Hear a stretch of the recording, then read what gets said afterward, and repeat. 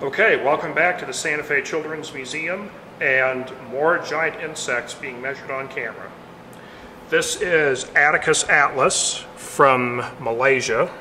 The female is being measured tip to tip.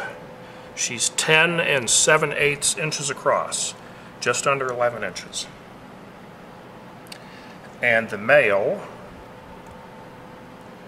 is about 10 and 5 eighths inches. And these are pretty outsized specimens. And it's really hard to get accurate data on these things. There's a lot of different ways to spread them, and I have not come across any authoritative information on the maximum recorded size for these moths. Okay, Attacus atlas, male and female. Stay tuned for more giant bugs being measured on camera.